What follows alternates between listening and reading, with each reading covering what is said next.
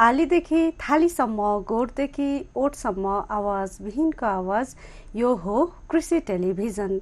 हामी छौँ चौबिसै घन्टा तपाईँको साथमा नमस्कार अनि स्वागत छ कार्यक्रम कृषि संवादमा यहाँहरूलाई आज पनि हामी एक अतिथिका साथ उपस्थित भएका छौँ र आज हामीसँग हुनुहुन्छ महिला उद्यमी तथा मनमुरी सहकारी संस्था लिमिटेडकी अध्यक्ष जयकला बस्नेत तथा उहाँ उद्योग वाणिज्य महासङ्घ महिला विकास समितिकी सदस्य पनि हुनुहुन्छ। स्वागत छ यहाँलाई। हजुरलाई धेरै धेरै धन्यवाद। हजुर जस्तो हजुर त यहाँ त विभिन्न सङ्घ संस्थामा आबद्ध भएर लागि परिरहनु भएको छ। ती संस्थाहरूमा हजुरको भूमिका चाहिँ कस्तो रहेको छ त? यस मैले जुन अहिले म लागि परेको छु जुन सङ्घ संस्थाहरूमा अब भूमिका आफ्नो आफ्नो तरिकाबाट बाँध्नुपर्ने रहेछ। भूमिका त अब जहाँ पनि मेरो कृषकै हुन्छ कृषिबाटै म गएको हो।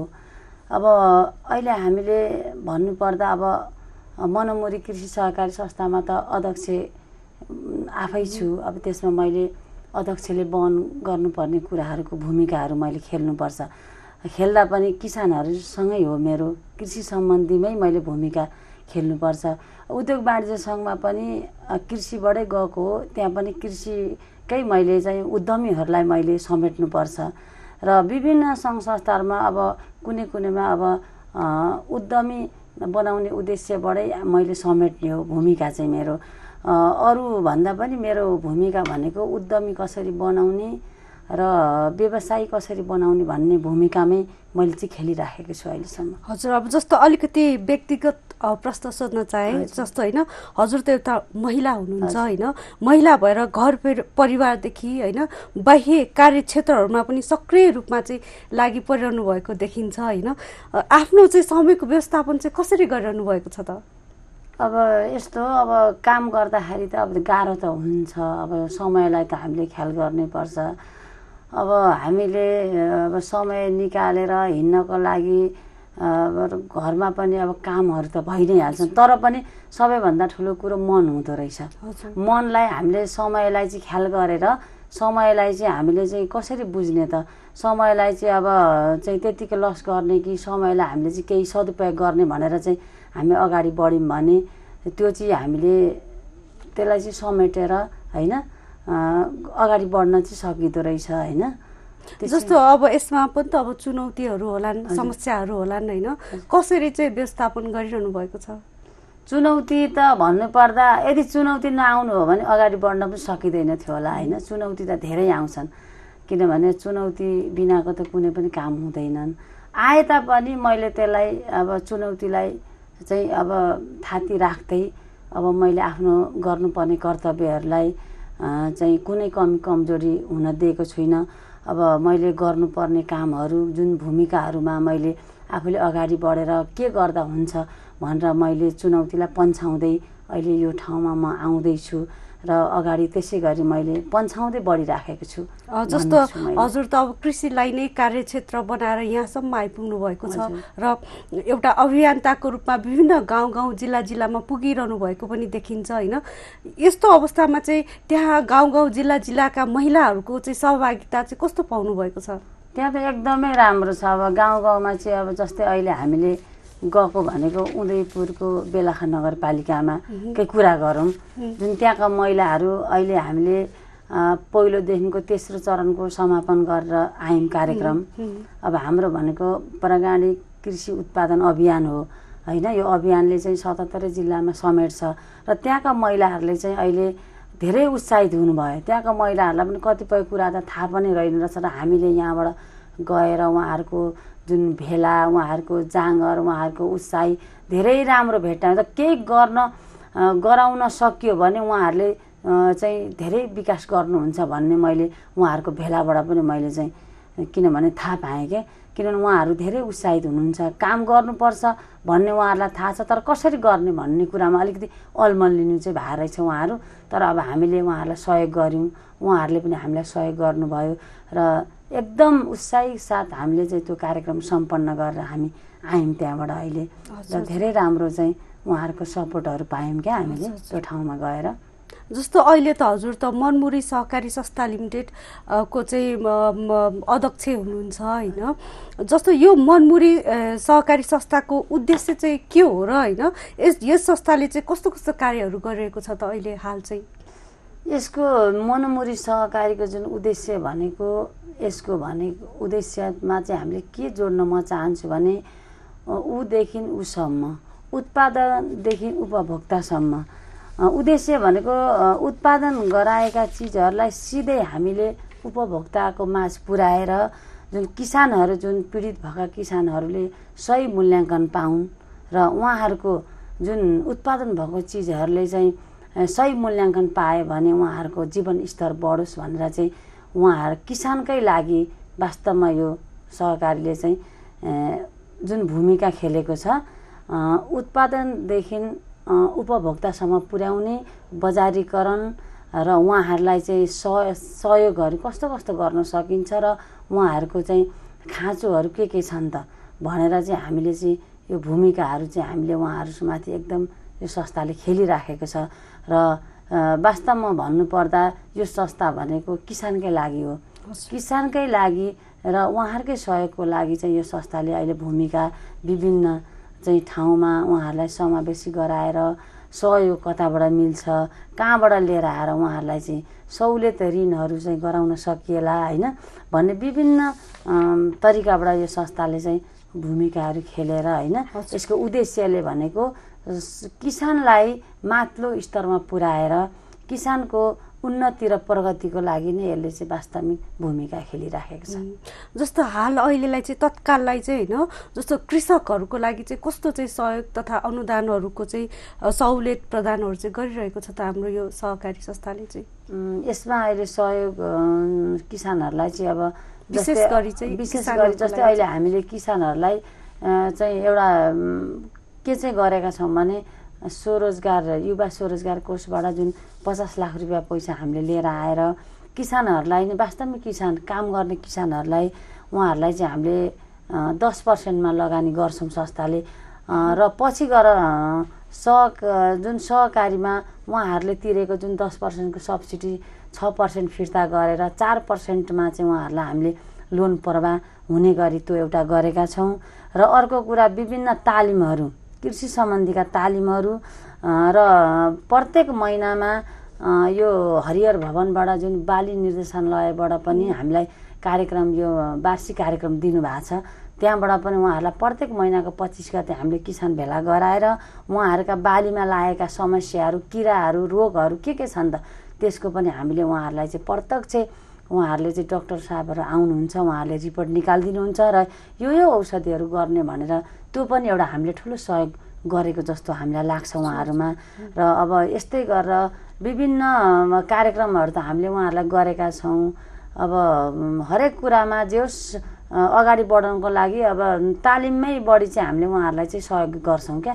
किनभने उहाँहरूलाई तालिमहरू दियौँ भने उहाँहरू आफू सक्षम हुनुहुन्छ भनेर बढी चाहिँ हामीले उहाँहरूको फिल्डमा पनि जाने उहाँहरूलाई हामीले सिकाउने होइन? हरेक कुराको चाहिँ मल बनाउनेदेखिको लिएर विभिन्न किसिमबाट हामीले उहाँहरूलाई चाहिँ यो संस्थाले चाहिँ सहयोग गरिराखेको छ। अहिले हालसाल चाहिँ गर्ने भनेको त्यही नै हामीले गरिराखेका छौँ। जस्तो अब हजुर त कृषिमा र सामाजिक कार्यहरूमा सक्रिय रूपमा चाहिँ आफू लागिरहँदा होइन यहाँलाई चाहिँ राज्यले के कस्तो सहयोग गरिदिए हुन्थ्यो जस्तो चाहिँ हजुरलाई चाहिँ लागिरहेछ? अब मलाई भन्दा पनि जुन जुन किसानहरू जो हुनुहुन्छ जुन जो पनि किसान हाम्रै संस्थाका मात्रै भनेर मैले भन्दिनँ। जस्तै जुन यो नेपालभरिका नेपालभरिका किसान जो वास्तवमै किसान हुनुहुन्छ। फेरि किसान भन्नाले अब कुनै त अब जुन पेपरमा पनि किसान भएका देखिएका छन्। त्यस्तालाई भन्दा पनि वास्तवमै किसानको पहिचान गरेर उहाँहरूलाई उहाँहरूले गर्न खोजेको के हो त? उहाँहरूको उद्देश्यलाई बुझेर उहाँहरूलाई दिनुपर्ने सब्सिडीहरू दिएर सब्सिडी भन्नाले चाहिँ क्यासबाट होइन कि उहाँहरूलाई चाहिँ प्रोजेक्ट जुन काम गर्न खोज्नुहुन्छ। जस्तै कसैले गाई पालन गर्न खोज्नुभयो उहाँहरूसँग बजेट कम छ। यति पर्सेन्ट तपाईँहरूले हाल्नुहोस् यति पर्सेन्ट सरकारबाट होस् भनेर जस्तै गाई किनेर वितरण गरियो भने त्यस्ता त्यस्ता नयाँ नयाँ कामबाट गर्न गर्दैदेखि होइन किसानहरूले वास्तवमै किसानहरूले केही गर्थे र त्यस्तो गर्दैदेखि चाहिँ किसान अगाडि बढ्थे कि जस्तो मेरो विचारमा मलाई लाग्छ होइन। र त्यस्ता किसानलाई चाहिँ राज्यले गर्दै अति राम्रो पनि हुन्थ्यो। जस्तो अब हजुर स्वयं आफू पनि त कृषि पेसामा लागिरहनु भएको छ लामो समयदेखि होइन र यो स्थानसम्म आइपुग्दासम्म चाहिँ हजुरको अनुभवबाट चाहिँ राज्यले चाहिँ कतिको सहयोग गरिरहेछ जस्तो चाहिँ यहाँले चाहिँ पाउनु भएको छ त? के साँच्चै सहयोग गरिरहेछ त राज्यले किसानहरूलाई? किसानहरूलाई सहयोग भन्दा राज्यलाई दोष भन्दा पनि यहाँ कस्तो भयो सहयोग त अब बजेटहरू त छुट्टिएकै छन् त्यो त सबैलाई थाहा भएकै कुरा हो। कृषिमा यति बजेट भनेर जहिले पनि अब चाहिँ यो बजेटिङ जुन भाषण हुने बेलामा त हुन्छ होइन? त्यो कि प्रशस्ति बजेट छुट्टिएका छन् तर वास्तविक किसानमा चाहिँ त्यो बजेट गइदिएनन् दुःख त्यहाँ लाग्छ।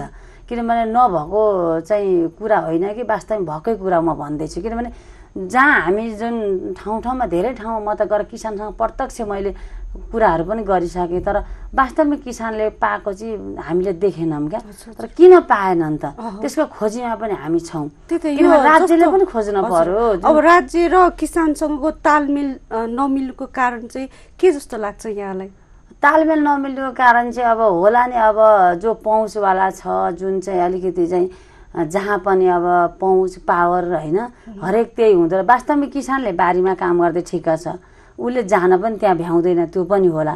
तर अब जुन अब किसानहरू जुन झोले किसानहरू हुन्छन् उनीहरूको काम पेसै त्यही हुन्छ। उहाँहरू चाहिँ पुग्दिने यस्तो गर्ने उस्तो गर्ने भन्दा उहाँहरूलाई पत्याइ पनि दिनुहुन्छ। र वास्तविक किसानलाई अब त्यो होइन। अब उहाँ किसान त हो अब त्यो बिचरा उसले माग्न पनि जानेको छैन। तर अब त हुन त किसानहरू बाठा पनि भएका छन्। अब त शिक्षित पनि वर्ग हुँदैछन् पाउँछन् पनि होला। तर जति नै भए पनि जुन अहिले काम गरेका किसानहरूले चाहिँ पाएको चाहिँ देखिएको छैन र अब त्यही हो जहाँ पनि अब यही कमिसनको खेल नै हो कि जस्तो मलाई लाग्छ है। मेरो विचारले किनभनेदेखि अब जहाँ गए पनि अब पाइएन हामी यसले कागजपत्र मिलाउन सकिएन। कि सही कागजपत्र मिलाउन नसकेर हो भने त्यो किसानलाई सिकाउनु पर्यो यसरी बनाउनुहोस् तपाईँहरूलाई हामीले दिन्छ भनेर चाहिँ एउटा चाहिँ राज्यले पनि पोलिसी त्यो सरल ढङ्गले बनाइदिनु पर्यो। यदि दिने नै हो भने त सरल ढङ्गको पोलिसी बनाइदिए त वास्तविक किसानले पाउने भयो नि त। उसलाई घुमाउरो बनाइदिएपछि उसले कागजपत्र नमिलाउन झन्झटिलो भएर पनि ऊ पछाडि परेको हो कि जस्तो पनि मलाई लाग्छ। तर अब जहाँसम्म झन्झटिलो त मान्नु भएन कागज पनि हामीले त त पर्छ नै। तर अलिकति सरल ढङ्गको चाहिँ जुन चाहिँ यो कागजहरू पनि जुन बनाउने विधिहरू छ नि त्यसलाई पनि सरल ढङ्गमा लग्दैदेखि चाहिँ किसानहरूले पाउँथे कि जस्तो मलाई लाग्छ। र अब अलिकति चाहिँ त्यही अलमल चाहिँ अब यही कमिसनहरूमै यताउता अलिकति पाठा टाठामै अलि अलमल भएर चाहिँ राज्यको बजेट चाहिँ किसानकामा नआएको चाहिँ मलाई मेन कारण चाहिँ त्यही हो जस्तो मलाई लाग्छ कि। अब जस्तो अब यहाँ त अब कृषि पेसा अप्नाउँदा अप्नाउँदै लामो सङ्घर्ष पश्चात होइन मनमुरी सहकारी संस्थाको अध्यक्षसम्म आइपुगिसक्नु भएको छ होइन। अब यो अवस्थामा चाहिँ अब अहिले हजुरले त स्वयं आफूले पनि कृषकहरूको लागि कार्य गरिरहनु भएको छ होइन। यस्तो अवस्थामा चाहिँ हजुरकोले चाहिँ आफूले आफूलाई चाहिँ अब प्रश्न गर्नुपर्दा चाहिँ मैले कतिसम्म योगदान गरेँ जस्तो लाग्छ यहाँलाई चाहिँ?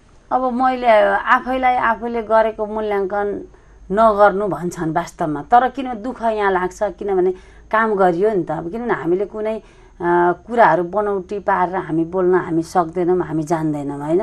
जे बोल्छौँ त्यो गर्छौँ जे बोल्दैनौँ त्यो हामी काम गर्दैनौँ। किन भन्दा अब जस्तै हामीले एउटा महिला एउटा किसानबाट गएको महिला होइन? कृषिबाट गएको न हो म पनि। अब धेरै पढेर अब म आएको त होइन। अब एउटा काम गरेर खेतबारीबाट चाहिँ पहिचान बनाएर एउटा चाहिँ समूह समूहबाट चाहिँ सहकारीमा आएँ। भन्दा त्यहाँ चुनौतीहरू कति आयो होलान्? अवरोधहरू कति आयो? र पनि हरेक कुरा लगानीका कुरा आयो होलान्। अब त्यसमा चाहिँ भनौँ न अब यो श्रमिकका कुरा आयो होलान्। भनेको बेलामा चाहिँ अब श्रमिकहरू पनि पाइएन होलान् होइन? अब गर्दै भन्दै लाँदा भन्दा धेरै चुनौतीहरू त हामीले त मैले त खेपेर आएँ। र अब एउटा जुन मलाई के चाहिँ मलाई एउटा चाहिँ म आफैले आफैले सम्मान गर्छु मैले जति एउटा योगदान एउटा व्यक्ति हो नि म त होइन? म कुनै चाहिँ कहीँबाट मैले चाहिँ पैसाहरू लिएर आएर मैले लगानी गरेको नि म आफ्नो पौरा आफ्नो दुःख आफ्नो चाहिँ हरेक होइन लोन गरेर हो कि अथवा के गरेर म यो ठाउँमा आएँ। तर एउटा महिलाले यति गर्दैछ भने होइन? आठ नौ सय चाहिँ सदस्यहरू चाहिँ त्यो जुन सहकारीमा आबद्ध गराएर एउटा चाहिँ एउटा बजारसम्म बजारीकरणको सम्म चाहिँ पहल गर्न सकु एउटा महिलाले भने एउटा कन्सेप्ट ल्यायो। सहयोग त सबै किसानहरूले गर्नुभयो। मैले मात्रै भन्न मिल्दैन। तर कन्सेप्ट ल्याएर यसरी गरौँ भन्ने एउटा उद्देश्य जुन मैले बोकेर गरेँ भने एउटा महिलाले यति गर्दैछ भने राज्यले त न गर्न चाहे त के चाहिँ हुँदैन त? होइन गर्न सक्छ नि राज्यले। तर त्योपट्टि राज्य जान चाहँदैन। हामीले भन्दा पनि सुन्न चाहँदैन राज्य। त्यो त सबैलाई थाहा भएकै कुरा हो। अब त्यही हो अब हामीले चाहिँ अब मैले चुनौतीहरू धेरै भोगेँ धेरै खेपेँ आएँ तर मैले यत्तिको गरेँ सङ्घर्ष गरेँ तर यो ठाउँमा आएँ होइन। यसै गरी अब राज्यले पनि यो जुन गर्ने महिलाहरूलाई केही उत्साहित गराउनको लागि केही न केही चाहिँ अब भनौँ न सहयोग गर्दैदेखि अझ केही गर्थेँ कि जस्तो मलाई आफैमा पनि मलाई त्यो लाग्छ कि। जस्तो हजुरले अब धेरै सङ्घर्षहरू गर्नुभएको छ होइन? चुनौतीहरू सामना गर्नुभएको छ। अलिकति आफ्नो विगतलाई चाहिँ यहाँसम्म आइपुग्दासम्मको चाहिँ विगतलाई चाहिँ अलिकति हाम्रो दर्शक महानुभावहरू समक्ष अलिकति बताइदिनुहोस् न आफ्नो सङ्घर्ष चुनौतीहरूलाई चाहिँ। हजुर ठिक छ। अब त्यसमा मैले अब चुनौतीहरू त अब काठमाडौँमा त्रिपन्न सालबाटै वास्तवमा म आएको बिहा भएर। आए पछाडि अब एउटा मेरो पेसा भनेको मैले सुरुमा अब जब पनि गरेँ मैले। त्यस पछाडि भएन मैले अब किराना पसलबाटै गरेँ खाद्यान्न गरेँ त्यस पछाडि अब गर्दै भन्दै लाँदाखेरि अब कृषिमा मैले हात हालेँ। जसरी गरे पनि आखिर पेटै रहेछ नि त ठुलो कुरो होइन? कृषि पेसा चाहिँ मलाई मन पऱ्यो पनि क्या। किनभने मलाई सानोदेखि मन पनि पर्थ्यो। त्यो पेसामा मैले हुमिएँ मैले गरेँ लगानी पनि गरियो। र त्यसमा काम गर्दा धेरै चाहिँ तपाईँको दुःख पनि पाइयो। अब हरेक कुराबाट मैले अघि पनि भनिसकेको छु होइन? अब गर्दै लाँदाखेरि अहिले अब तपाईँको यो पाँच वर्षको जुन यो अहिले मैले वास्तविक किसानमा लागेको पाँच वर्ष लाग्यो मैले। जुन पेसागत चाहिँ व्यवसायी बनेको होइन त्यसमा अब चुनौतीहरू त पहिला पनि धेरै धेरै आएकै हुनु काम गर्दै जाँदा र पनि मैले सङ्घर्षलाई कहिले पनि सङ्घर्षसँग म पछि हटिनँ। सङ्घर्ष भनेको जीवन भनेको सङ्घर्षै हो जस्तो मलाई लाग्थ्यो र मैले अगाडि बढ्दै गएँ। अहिले आएर अब चाहिँ जयलक्ष्मी एग्रिकल्चर प्रणाली मैले दर्ता गरेर जुन मैले चलाएँ पच्चिस रोपनी जमिन भाडामा लिएर मैले काम गरेँ त्यसमा चुनौती बाधा अर्चनाहरू धेरै आए गर्दै गरेँ। र त्यसमा अब अहिले आएर अब सहकारीमा अध्यक्ष हुन पनि होइन। सबैले चुनेर त्यहाँ आइपुगेँ। त्यहाँ पनि अहिले मैले त्यहाँ पनि अहिले पनि चुनौती नै छन्। अब किनभने हामी गर्दैछौँ भर्खर बामे सर्दैछौँ। अब धेरै चुनौतीहरू आउँछन्। तर आए पनि म त्यसमा चाहिँ डराउनेवाला चाहिँ छैन। किनभने चुनौती आउँछन्। अब पन्छाउँदै जाने हो अगाडि बढ्दै जाने हो होइन? भने चुनौती त अब नमरुन्जेल आउँछन् जस्तो नि लाग्छ मलाई। किनभने अब काम गर्दै जाँदा सरल त हुँदैन। बाधा अर्चना हुन्छन् चुनौती आउँछन्। अब कसले के भन्छ कता के हुन्छ त्यो त अब हामीले भोग्नै पर्छ होइन? अब चुनौती चाहिँ अब भनौँ न बाँचुन्जेल हामी लड्नै पर्छ होला किनभने सरल ढङ्गले चाहिँ अब हामीले काम गर्न सकिन्छ जस्तो लाग्दैन। तर त्यसमा पनि कुनै पनि मलाई त्यसमा फेरि आपत्ति पनि छैन फेरि। मलाई त्यसमा अगाडि बढ्नलाई अब सक्छु नै जस्तो लाग्छ। जस्तो अब हजुर त होइन जयलक्ष्मी एग्रिकल्चर प्रणालीको प्रोप्राइटर पनि हुनुहुन्छ होइन। अनि यसले चाहिँ के के कार्यहरू गरिरहेछ त अहिले? यसले पनि कृषिमै गर्ने हो किनभने यसको जुन मेन उद्देश्य भनेको कृषिमै उत्पादन बढाउने उत्पादनलाई चाहिँ अब यसको विकास उत्पादनमा कसरी उत्पादन बढाएर विकास गर्न सकिन्छ होइन? र यो जुन बेरोजगारीहरूलाई रोजगार भयो होइन? अब विदेशीहरूलाई रोक्ने होइन? अब त्यो उत्पादन सम्बन्धी मात्रै यसले काम गर्ने अब जस्तै किसानहरूलाई ट्रेनिङहरू दिलाउने काम यसले गर्छ। यसको भनेको कृषि सम्बन्धीकै मै मात्रै यसले अगाडि बढेर चाहिँ उद्यमीहरूलाई समेट्ने होइन यसको उद्देश्य भनेको पनि त्यही नै हो। अब हामी कार्यक्रमको अन्त्यतिर आइसकेका छौँ होइन? अब अहिले अब अहिले अन्य पेसा अप्नाउन चाहने तथा वैदेशिक रोजगारी जान चाहने युवाहरू तथा हाम्रा कृषि पेसा अप्नाउन चाहने दाजुभाइ तथा दिदीबहिनीहरूलाई चाहिँ यहाँको सल्लाह सुझाव चाहिँ कस्तो रहेको छ? अझ विशेष गरी चाहिँ महिलाहरूलाई चाहिँ अगाडि बढ्नको लागि चाहिँ होइन?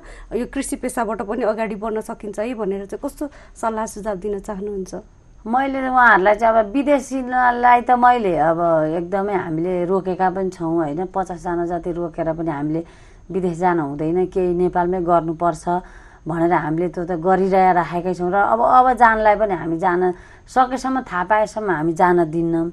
र यो नयाँ जुन केही गर्छु अथवा कृषि नै मात्रै भएन कुनै व्यवसाय गर्छु अथवा कृषि गर्छु भन्नेलाई पनि हामीले चाहिँ उहाँहरूलाई चाहिँ सकेको सहयोग होइन ट्रेनिङसम्म दिएर कुन पेसा गर्नुहुन्छ के गर्न चाहनुहुन्छ सोधेर हामीले चाहिँ उहाँहरूलाई चाहिँ सल्लाह सुझाव दिएर बढी चाहिँ महिलाहरूलाई नै हामीले चाहिँ समेटेका छौँ होइन। महिलाहरूले चाहिँ एउटा केही गर्नुपर्छ र महिलाहरू पछि हट्नु हुँदैन।